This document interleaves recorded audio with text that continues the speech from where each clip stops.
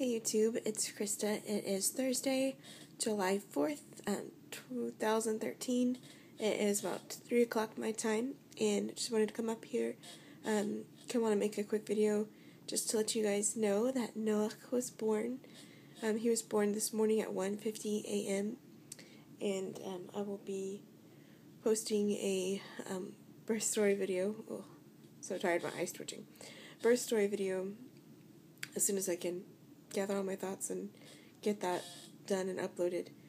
Um, it was amazing. It was beautiful. It was intense. It was scary at times.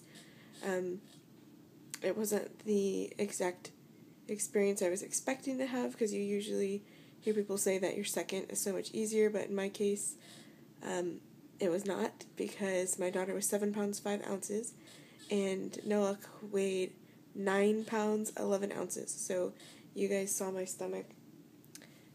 He was huge. and so was the placenta, and there was a lot of water and fluid, so it was um, just very different, very intense, but wonderful. And the end result was this guy. So I'll get some um, better pictures and videos uploaded soon of him, but uh, we're doing great. Um, I'll go into more detail about my birth in my birth story video. It was intense, but we're we're both doing really well, and um, I'm just so happy to have him here with us, and tickled that he um, is a Fourth of July baby and he came out with a bang and he's healthy, and it's just been really sweet to see the interaction with him and Ori and all of the family. So thank you guys for um, your encouragement and um, towards the end of my pregnancy was getting really rough for me.